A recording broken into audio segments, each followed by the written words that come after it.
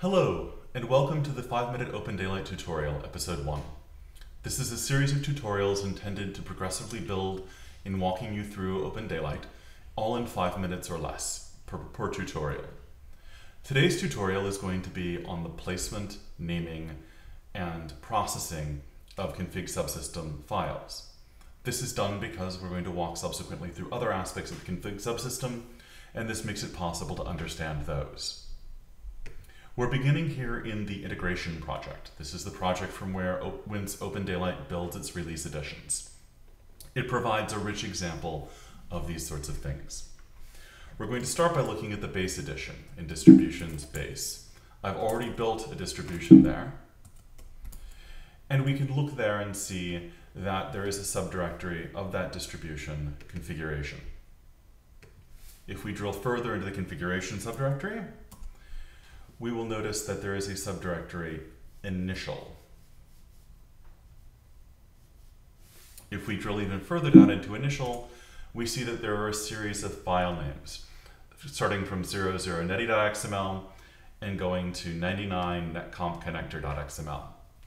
This layout should look very familiar to those of you who are used to many places that use this config directory style configuration.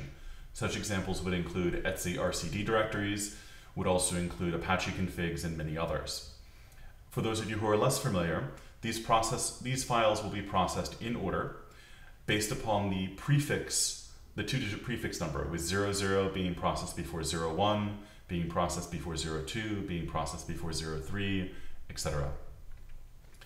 This way you can allow different applications to have different independent initial configurations that can be installed in the distribution separately and independently from one another.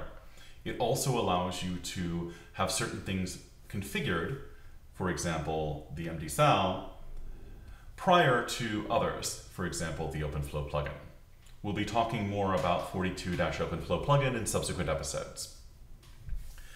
So to see how some of these may differ by distribution, we can look at the service provider distribution.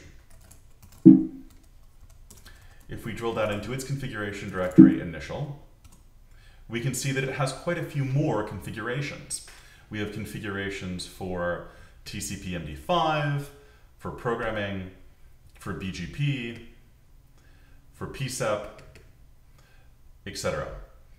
This basically allows you to build up with separate configuration files the aspect of the configuration that you need in the controller. This concludes the first episode of the 5-minute OpenDaylight tutorials. I hope that it's proven helpful and look forward to talking about other aspects of the system with you in subsequent tutorials. Thank you.